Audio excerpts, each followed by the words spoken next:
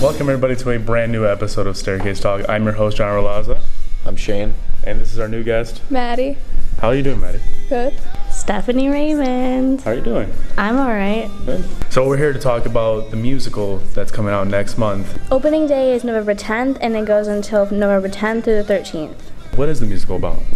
The musical is The Addams Family. It's the story of how like their little dysfunctional family has a little twist in it and it's really good so everyone should go see it. What are your expectations for this musical? I think it's gonna be awesome. Do you We're already doing really good. Do you think that this musical is gonna be better or any way superior than the last and previous ones?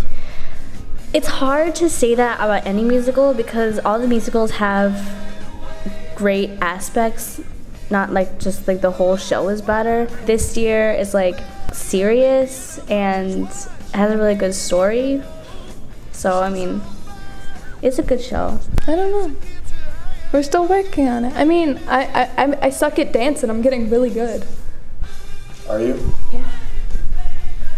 I, I didn't believe it. Why are you lying to me? If you had to choose for the, the high school to do any story and make it into a play or a musical, what would it be? I wish they could do Rent. Ren? Rent? Have you seen Rent? Rent? You should go watch it. It's really good. It's really, it's deep, but it's really good. Deep and meaningful? Deep and meaningful, but it's an amazing show. But I'm graduating this year, so if they did it, I wouldn't be able to do it.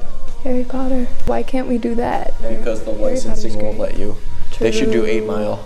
I want to see some white Eight- kid go up there and beat everybody in a battle rap. That But would be then so again- funny. Harry Potter isn't a musical though. It's just a play. Not with that attitude. Musical or Are you gonna come to the musical, John?